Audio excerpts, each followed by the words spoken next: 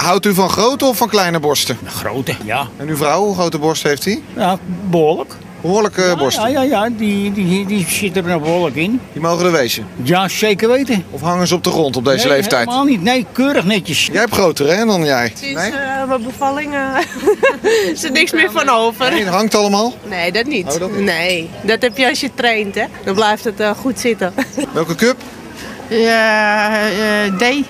Cup D. Cup D. Gefeliciteerd. Zijn ze groter geworden in de loop der jaren? Ja, heel groot. Ja?